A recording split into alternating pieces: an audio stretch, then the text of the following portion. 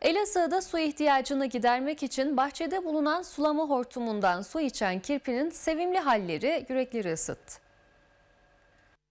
Elazığ'da bir bahçede bulunan kirpi su ihtiyacını gidermek için bahçenin sulama hortumundan çıkan suyu içmeye başladı. O anları bahçe sahibi cep telefonuyla kaydetti.